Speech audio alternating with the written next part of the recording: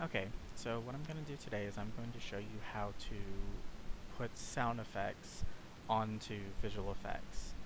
Um, so what I'm going to do is I'm going to add sound effects to this. So this is Guardian from the Omega Raids.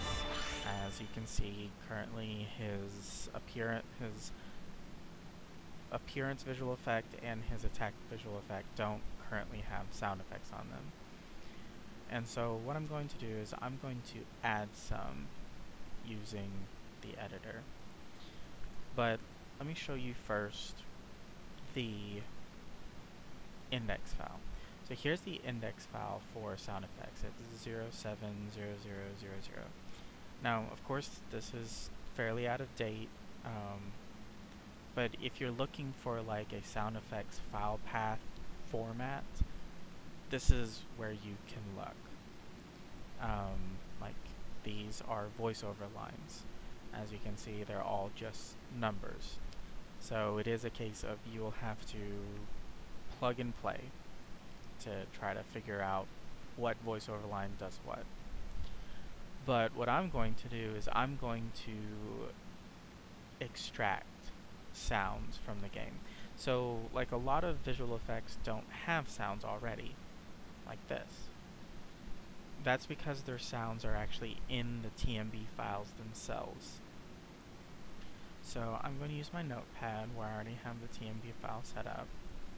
So here's the file path, and I'm just going to use raw file operations and extract raw file. Uh, if you've seen my summon creation video, you already know how to use this.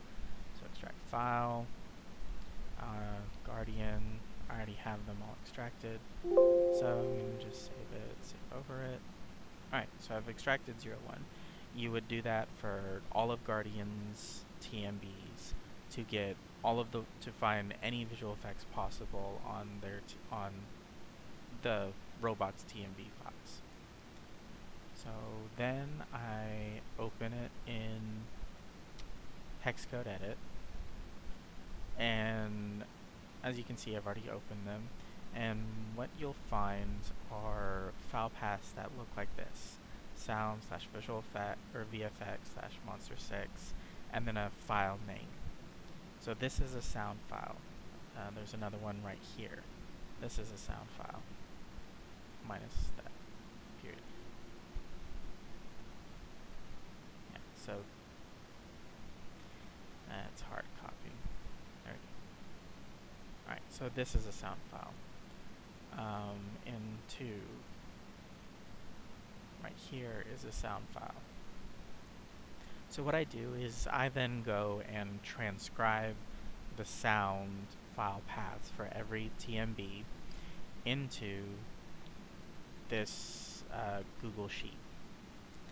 Uh, this is in this is in the reference folder that anyone can access.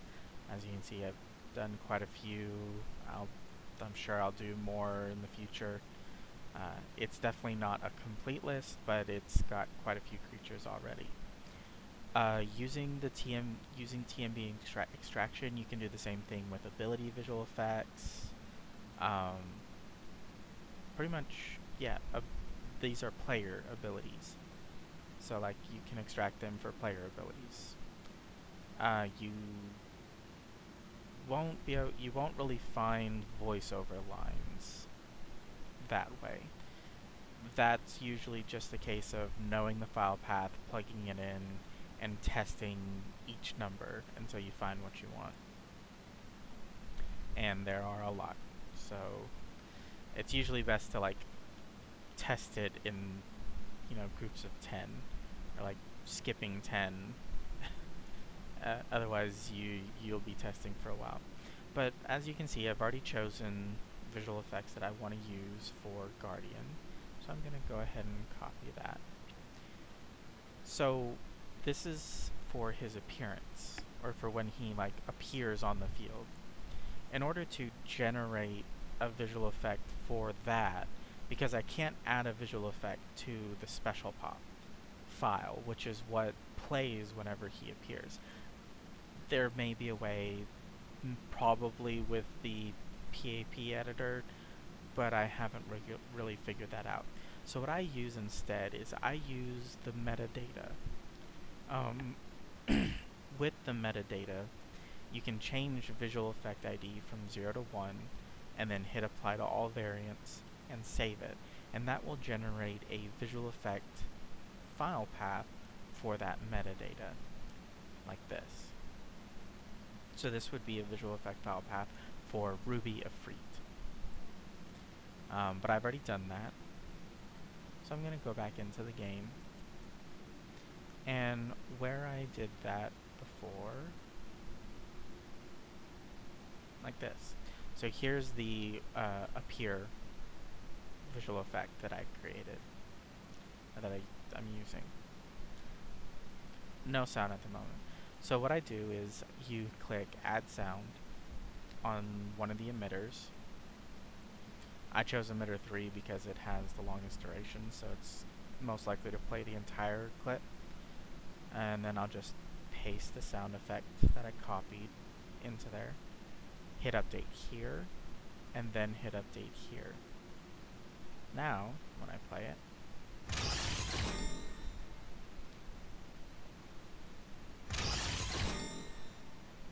and there we go. There's sound added to that visual effect. Um, one of the things to keep in mind with metadata files is if you want that visual effect to actually play when at the time you know the creature actually appears, you have to give it a delay.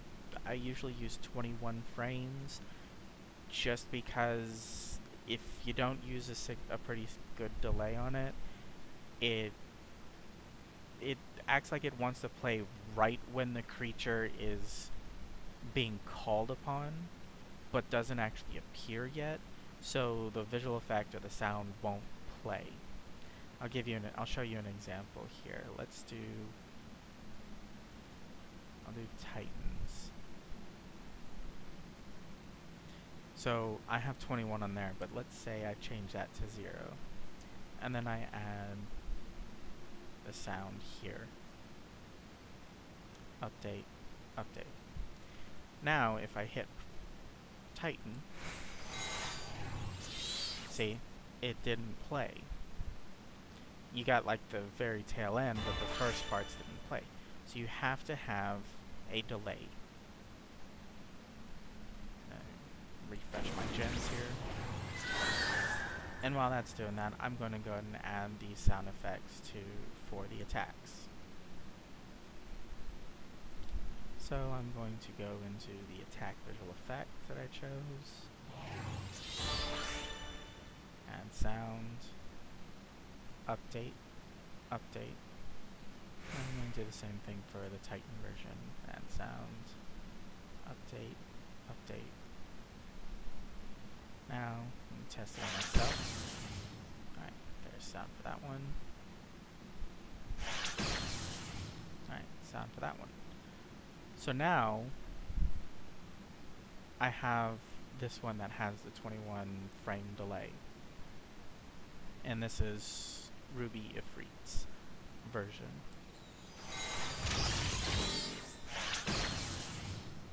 See? So you re you need to have that delay in there for the sound to actually play.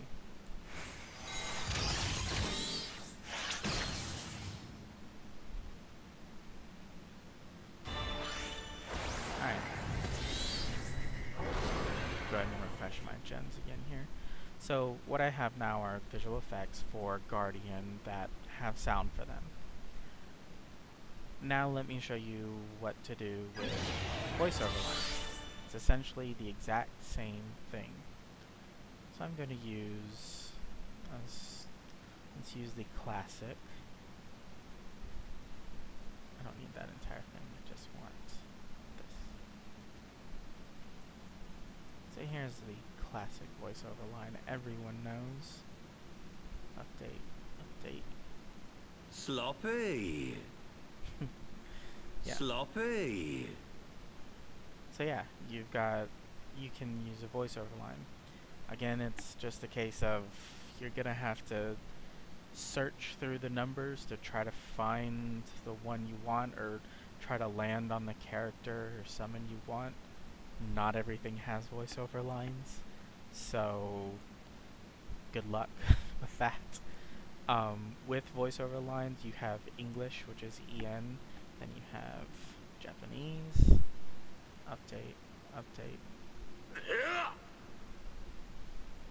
Apparently, Sloppy plays for English, but the other ones?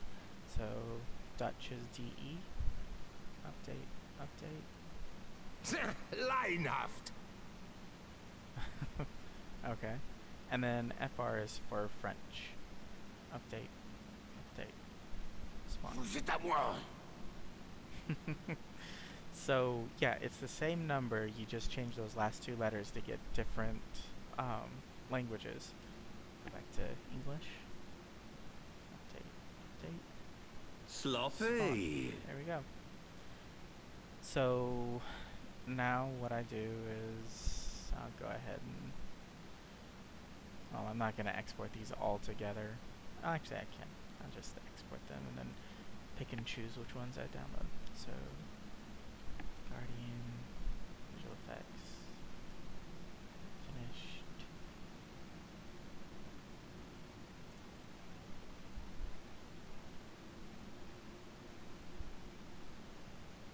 Alright, so now I'll just import them using TexTools, package them with Guardian, and he'll be finished.